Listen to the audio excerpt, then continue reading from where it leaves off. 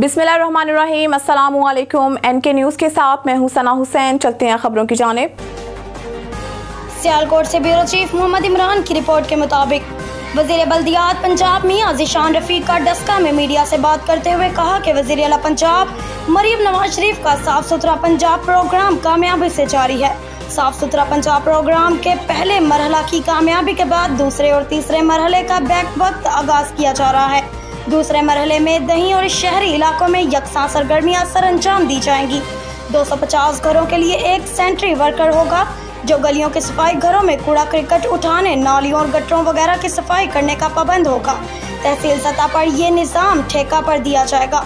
मजीद मियाँ जिशान रफीक ने कहा कि अवाम के मसाइल उनके घर की दहलीज पर हल करेंगे। तनकीद बरए असलाह की सहाफत वक्त की ज़रूरत है। वज़ीर बल्दियात पंजाब मियाँ जिशान रफीक, मेंबर सूबाई असम्बली पी पी इक्यावन Daska rest house camp office में हल्का से आए हुए लोगों से मुलाकात की। शहरियों ने अपने मसाइल से आगाह किया, जिस पर सूबाई वज़ीर बल्दियात ने मसाइल को फौरी हल के लिए अहकाम जारी किए। और इस मौका पर चीफ ऑफिसर जिला कौंसल सियालकोट, उल्फत शहजाद और सीईओ बल्दिया डस्का अब्दुल हई भी मौजूद थे।